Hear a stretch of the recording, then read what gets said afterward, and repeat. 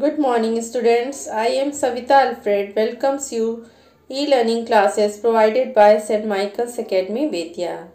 Students, today I am going to teach you standard 5 subject moral science chapter 6 how good things work.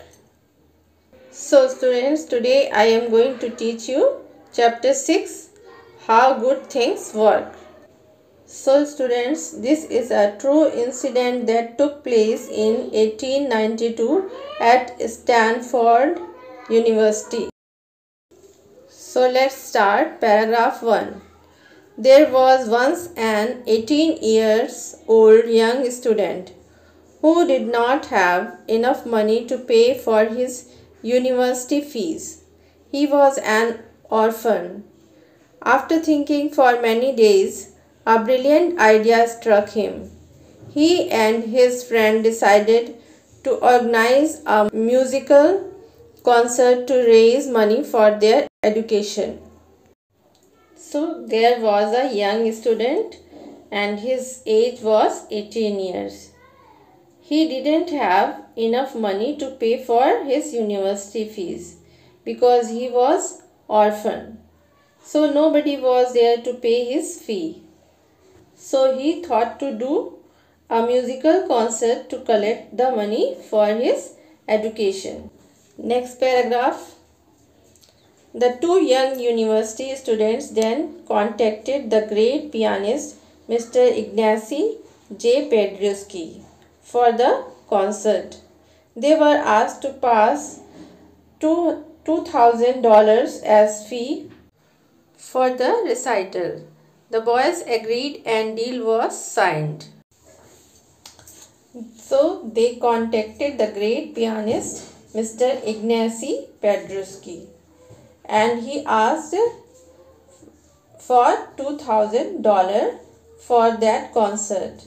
So they did the deal and agreed to give $2000 to him. Next paragraph. On the decided day, Mr. Ignacy J. Paderewski performed at Stanford. But unfortunately, the number of tickets the young students sold could only fetch them $1600. The money was not in even enough to pay Mr. Paderewski. At the time of payment, the students explained their problem and paid the entire $1600 to him along with the post dated check of $400. So Mr. Paderewski performed on certain day but they couldn't sell but uh, the students couldn't sell more tickets and collected only $1600 so they told their problem to him and they paid all money $1600 along with a post dated check of $400. Next paragraph is the generous Mr. Paderewski tore the check and said, This is unacceptable. He returned the money and the check and instructed the two university students to use the money for their fees. He told them to return only what is left with them after paying for their fees. The two boys were thrilled. They thanked Mr. Paderewski profusely and promised to do so. But Mr. Paderewski was a very generous person. He was a very kind person. So he tore the check and returned the money and said, I can't accept it and told them to use the money to pay their fees and remaining money he will accept. So they were thrilled. Thrilled means very happy.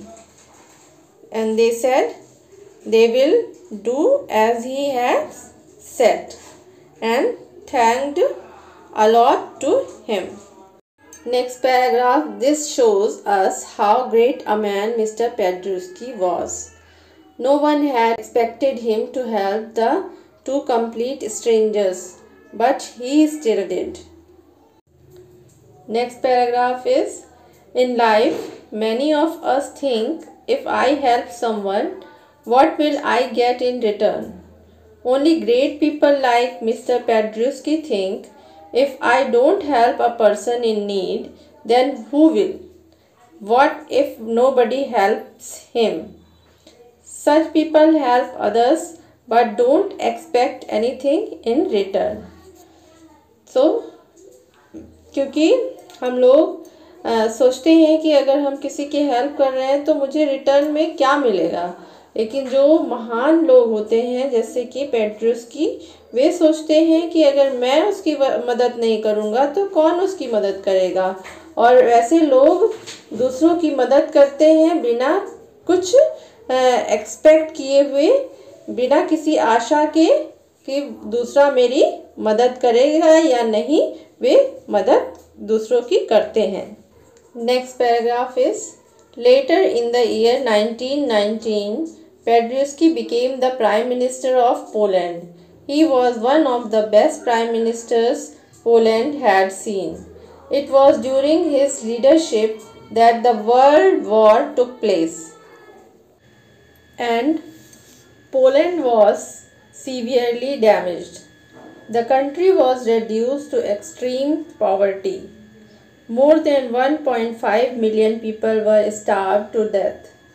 Paderewski wanted to help his countrymen but did not know whom to turn to for help. He requested the US Food and Relief Administration Department to help them.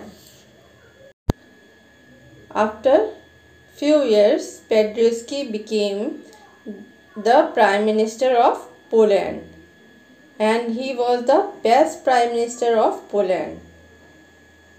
And then unfortunately the World War started. Poland was completely destroyed. Poverty spread throughout the country people started starving. Paderewski wanted to help his people and he did not know who will help. So he thought and he requested the US Food and Relief Administration Department for help. Next paragraph is the chief of this department was Herbert Hoover. In response to Paderewski's request, he immediately sent ships loaded with tons of food grains. The act saved many Polish people from death due to starvation. At that time, the chief was Herbert Hoover of this department and he sends tons of foods, food grains immediately to save many Polish people from death due to starvation. Next paragraph. As Hoover had averted the calamity which could have killed many, Paderewski decided to personally go and thank his new friend. When Paderewski met Hoover to thank him for his noble act, he quickly interrupted him and said, Mr. Prime Minister, please don't thank me. You might have forgotten, but I haven't. I am one of the two students you had helped in finishing his college ed education in the United States. Herbert Hoover later became the 31st President of the United States of America. Because Hoover had saved his country, so Paderewski went to meet him personally and to thank him. Then Hoover said, Don't thank me because you don't recognize me I am that student whom you helped in finishing his college studies. And later, Herbert Hoover also became the 31st President of the United States of America. So students, today I have taught you chapter 6 How Good Things Work. I hope you have understood it. So, thank you.